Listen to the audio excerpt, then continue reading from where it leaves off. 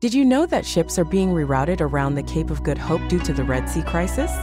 Yeah, it's true. Shipping companies are avoiding Houthi attacks by taking a longer route, adding 10 to 14 days of travel time. But here's the problem African ports are struggling with red tape, congestion, and poor facilities. It's causing a major headache for these ships as they need to refuel and restock. South Africa's major ports, like Durban and Cape Town, are among the worst performing globally. This disruption in international trade is affecting oil prices and freight rates. Let's hope they find a solution soon.